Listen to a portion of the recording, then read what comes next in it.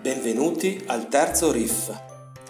Facciamo un salto nella storia della nostra associazione per scoprire una minima parte di storie e volti che hanno accompagnato questi 150 anni e oltre di azione cattolica.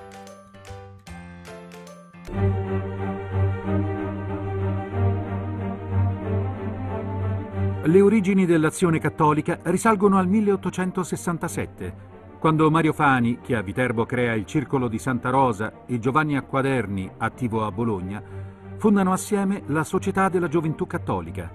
È il primo nucleo di quella che diventerà l'Azione Cattolica, la più significativa aggregazione laicale che l'Italia abbia avuto.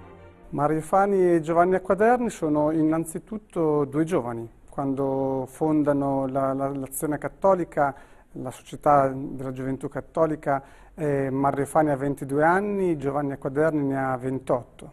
Sono due giovani, sono due laici, due credenti laici che in quanto tali sentono la responsabilità di eh, farsi carico del difficile contesto che stava eh, attraversando la, la Chiesa in quel periodo. Sentono cioè di avere una responsabilità da condividere e questa responsabilità è la responsabilità per tutta la missione evangelizzatrice della Chiesa, di cui farsi carico e di cui in qualche modo farsi anche difensori con il linguaggio dell'epoca. E questo, fin da subito, comporta anche la consapevolezza che questo eh, richiedeva eh, una grande attenzione all'aspetto formativo dei giovani innanzitutto e quindi una formazione eh, per dei laici che volessero essere eh, credenti credibili, potremmo dire.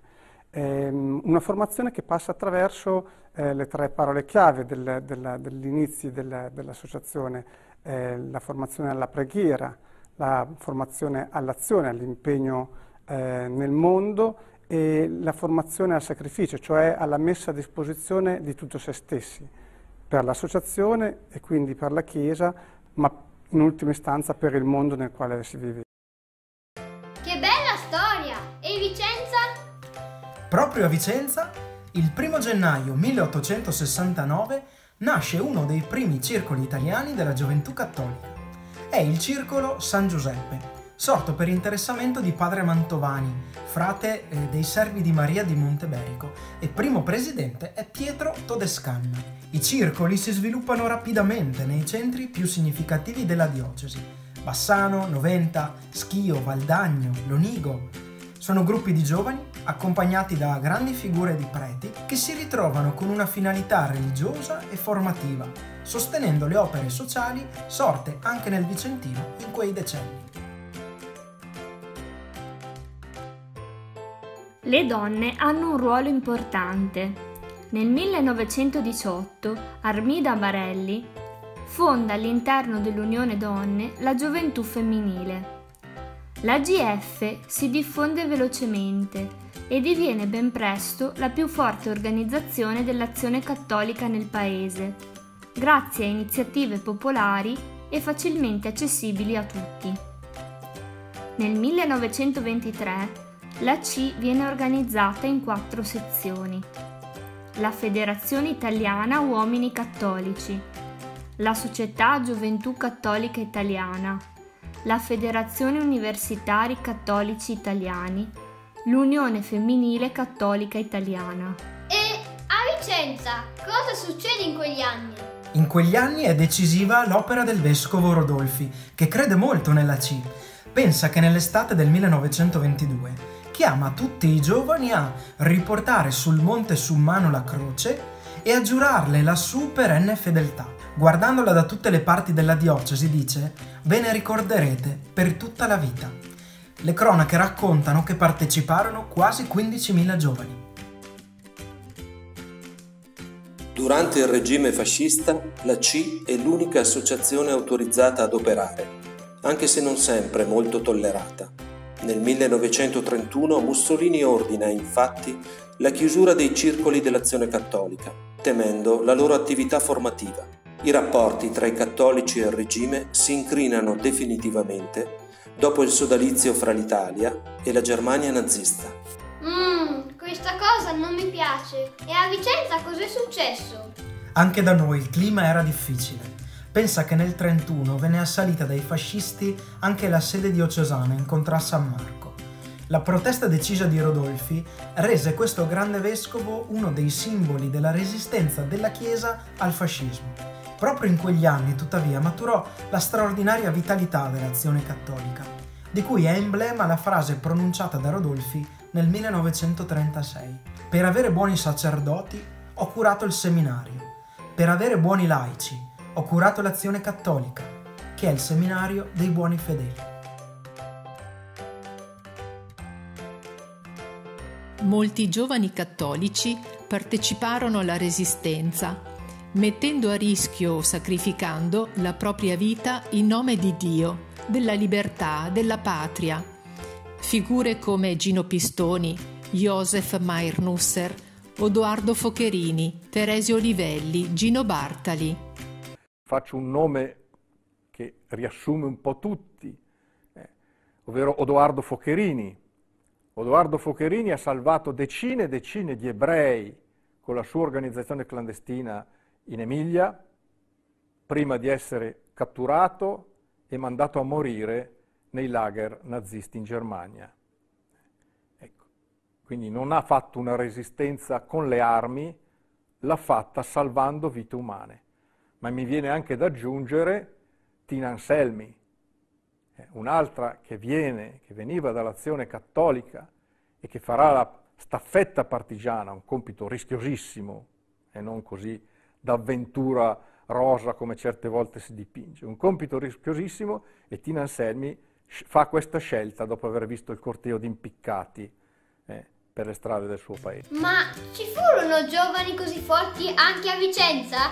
Certo, tanti giovani soci vicentini aderirono alla resistenza.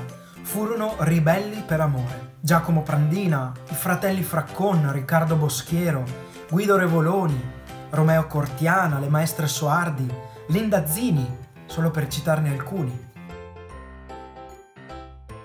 Nel dopoguerra risulta prezioso il contributo offerto dall'azione cattolica alla ricostruzione delle basi democratiche e repubblicane del Paese. Tra gli altri Giorgio Lapira, Giuseppe Lazzati, Aldo Moro, Giuseppe Dossetti lavorano alla stesura della Carta Costituzionale. Alle elezioni del 1948 l'apporto dell'azione cattolica risulta decisivo per la vittoria della democrazia cristiana.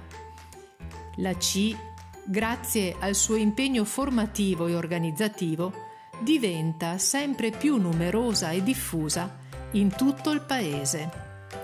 Ma lo sbilanciamento nell'impegno politico, partitico e nell'attivismo genera una crisi di cui si fa portavoce Carlo Carretto.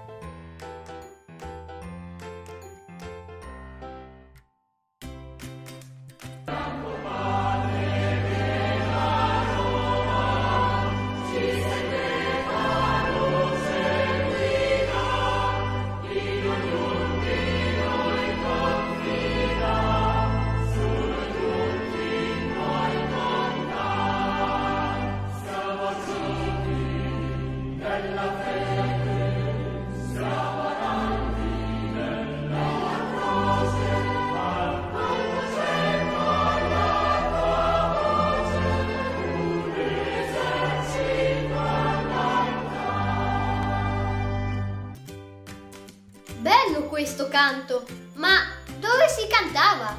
Per esempio nelle nostre case alpine. Grazie alla gioventù femminile e all'Unione Donne sorgono infatti le case per ferie a Tonezza, per rispondere all'esigenza di garantire in modo continuo un servizio formativo e apostolico, oltre che sociale. Non va dimenticato che anche la GIAC contribuì alla nascita di Villa San Carlo. Negli anni Sessanta il Concilio Vaticano II legittima pienamente il mandato missionario dei laici e per la prima volta parla espressamente dell'azione cattolica come scuola di formazione per un laicato responsabile, che fa proprio il fine apostolico della Chiesa, l'evangelizzazione, la santificazione degli uomini e la formazione cristiana della loro coscienza. È il tempo di Vittorio Bachelet, presidente dal 64 al 1973. In questo contesto la C compie la scelta religiosa e decide di non essere più legata a nessun partito politico. Pur rimanendo immersa nel sociale e attenta alla formazione della coscienza civica e politica degli aderenti, torna a riscoprire le proprie origini nell'annuncio del Vangelo e nell'educazione alla fede nel 1969 viene approvato un nuovo statuto, con il quale l'associazione compie la scelta democratica e assume una dimensione unitaria, che si specifica in due settori, giovani e adulti, e nella costituzione dell'Azione Cattolica dei Ragazzi, ACR. La C perde il ruolo di monopolio sul laicato, mantenendo tuttavia un legame particolare con la Chiesa locale diocesi e parrocchie. Vittorio Bachelet, che viene chiamato da Paolo VI al ruolo di presidente dell'Azione Cattolica a soli 38 anni, capisce da subito che il suo compito sarebbe stato quello di ripensare l'associazione per porsi al servizio della concreta attuazione degli insegnamenti che stavano emergendo dal Concilio Vaticano II. Il rinnovamento della Chiesa italiana nella liturgia, nelle catechesi, nel coinvolgimento del laicato passa in larga misura attraverso la mediazione operata dall'azione cattolica, che era diffusa in tutte le diocesi e in tutto il paese. L'azione cattolica vorrebbe aiutare gli italiani ad amare Dio e ad amare gli uomini. Essa vorrebbe essere un semplice strumento attraverso il quale i cattolici italiani siano aiutati a vivere integralmente e responsabilmente la vita della Chiesa e insieme a vivere con pieno, rispettoso impegno cristiano la vita della comunità temporale e della convivenza civile. Wow! Proprio forte questo Bachelet! Eh sì, vero. Anche per la Chiesa di Vicenza il concilio è un punto di svolta e di rinnovamento. Negli anni del post-concilio, soprattutto tra i giovani, un ruolo decisivo l'hanno avuto e continuano ad averlo i campi scuola diocesani, le giornate di studio, gli incontri di formazione. Negli anni matura l'intuizione educativa dell'ACR. Grazie al metodo esperienziale si inaugura un modo nuovo di fare catechesi. Cresce la consapevolezza che l'attenzione educativa e la scelta religiosa devono essere lo stile e l'esperienza di tutta l'associazione è uno dei periodi più delicati della nostra storia nazionale, caratterizzata da una profonda trasformazione della società e segnata dal terrorismo, che uccide Aldo Moro, 1978, e lo stesso Vittorio Bachelet, 1980. A metà degli anni Ottanta, la C scrive il suo progetto formativo apostolico unitario e definisce le metodologie e i cammini formativi per le diverse età. Ultimi anni i cambiamenti sociali e culturali provocano la CIA a ripensarsi per rendere più efficace il proprio impegno educativo e pastorale. Nel 2003 viene aggiornato lo statuto, cui segue la stesura del nuovo progetto formativo. Il 30 aprile 2017 iniziano le celebrazioni per i 150 anni dell'associazione, con un incontro con Papa Francesco in piazza San Pietro a Roma, al quale partecipano 100.000 persone. E il 1 novembre 2019 l'ACR è in festa per i suoi primi 50 anni. La storia dell'azione cattolica è dunque una storia che continua.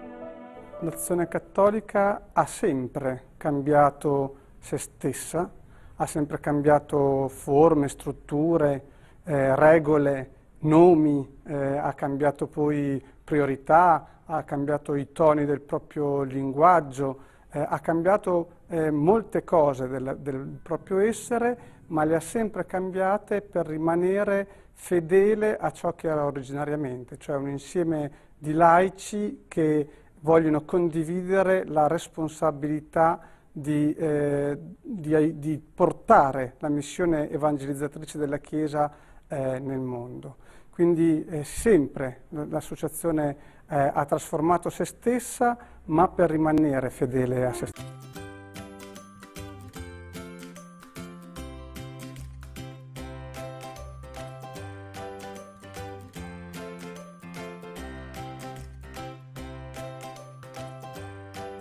Ehi, ma quello sono io! Certo, eri presente anche tu. Ricordi la festa per i 50 anni della CR e quella per i 150 della nostra associazione? Ora tocca anche a te, a tutti noi, portare avanti questa bella storia. La mia storia associativa, come la tua, è segnata dai volti incontrati che hanno lasciato un'impronta, deposto un seme, preso per mano, indicato una strada, accompagnato. Io li chiamo per nome, almeno quelli che non ci sono più, ma di cui resta sempre vivo il dono ricevuto. Don Giuseppe, Tina, Don Antonio, Momi, Stella, Nelda, Giannina, Federica. E ora, vuoi provare anche tu questo esercizio di memoria?